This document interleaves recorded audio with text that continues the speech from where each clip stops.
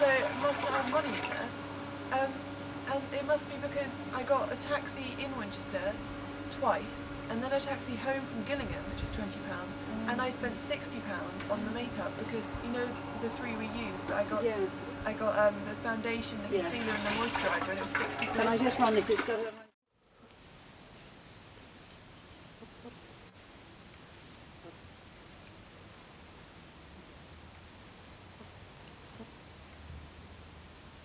Mm-hmm.